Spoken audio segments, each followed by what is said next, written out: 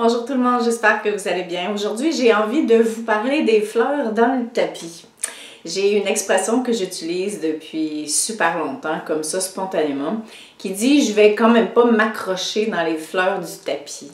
Ce que je veux dire par là, c'est que je vais pas essayer du moins de surdimensionner ce qui m'arrive, c'est-à-dire mes émotions, mon mental, des situations qui se sont pas passées comme je voudrais, parce que évidemment, je me rends bien compte que ça m'alourdit.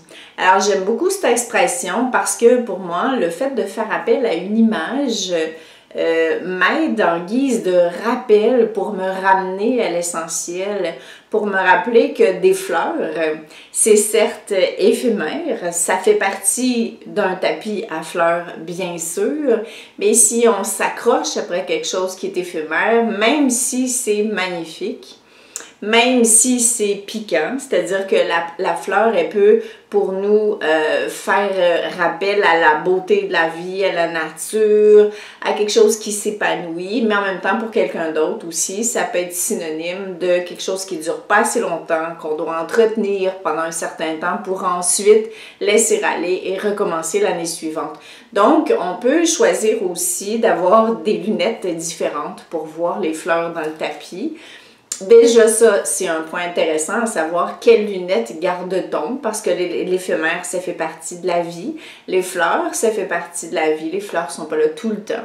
Alors, il s'agit de les apprécier quand ils sont présentes et de les laisser aller et de se rappeler ce qu'elles nous ont enseigné, ce qu'elles nous ont apporté et continuer de les nourrir, de nourrir les bienfaits de ça à l'intérieur de nous. Comme on peut décider de s'accrocher constamment dans les fleurs du tapis, c'est-à-dire de voir trop gros, de vouloir garder ce qu'on a eu qui nous a fait du bien, de se mettre à s'imaginer des choses. Et bien sûr, on finit tellement par grossir ces fleurs-là qu'on s'accroche dedans tout simplement, et on n'arrive pas de un à s'épanouir, à prendre toute notre place sur ce tapis, et de deux à voir qu'il y a autre chose que ça aussi, et autre chose qui pourrait ressortir de ça, et il y a même d'autres tapis, je dirais.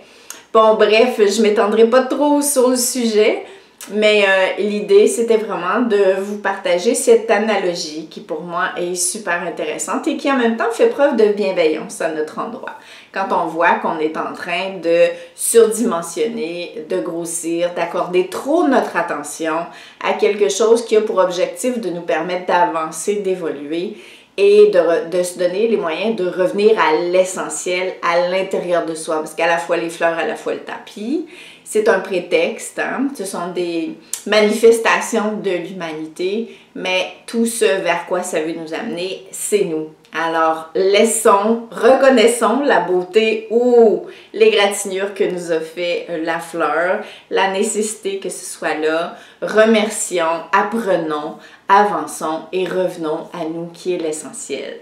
Donc, est-ce que vous vous accrochez dans les fleurs du tapis? À vous de voir. Avec beaucoup d'amour et même, je dirais, d'humour, parce que ça fait du bien aussi d'être solidaire de notre évolution en ayant beaucoup d'humour de, pour soi. Je trouve que l'autodérision, pour moi, en tout cas, c'est un médicament que j'ai pas envie d'arrêter de prendre. Donc, je vous embrasse là-dessus et je vous dis à la prochaine. Bye!